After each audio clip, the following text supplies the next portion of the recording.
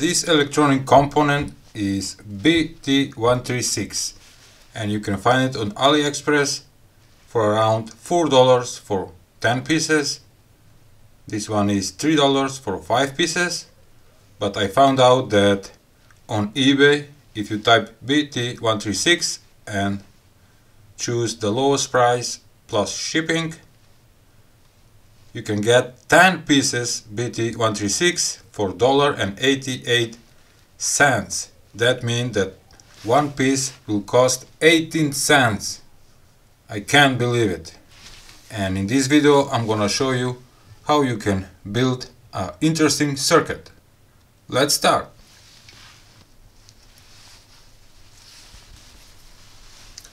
For those who don't know what is BT136, it's a type of electronic component which is a triac and in general purpose bidirectional switching and phase control applications where high sensitivity is required in all four quadrants. It's a triac and it's working in mo most cases with alternating current AC. Okay. I forgot. This one is 600 volts rated, 4 amps maximum. The pinout of the BT136 is main terminal 1, main terminal 2 and the third leg is gate.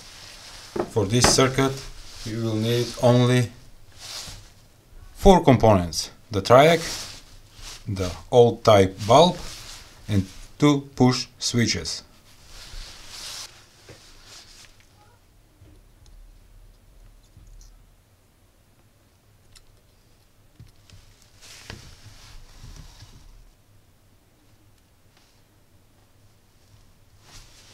Very simple and easy to build.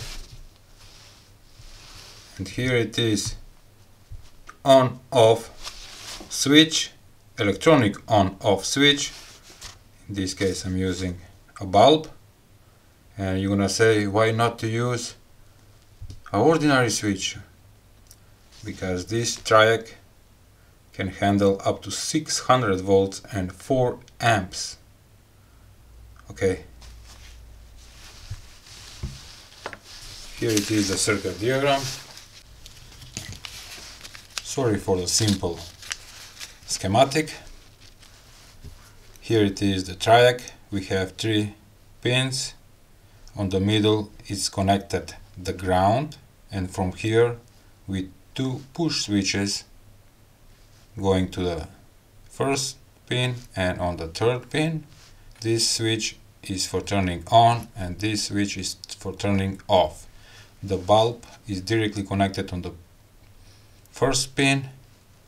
And here we have 12 volts positive. Like on the example. Let's test it. To mention and I tested that the circuit work from 5 volts and above but right now I'm gonna power with 12 volt DC voltage and to mention that this cooling piece on the triac is also ground. So I'm gonna connect it right here. It's not a problem and the positive 12 volts go on the bulb through the bulb go on the first pin of the triac.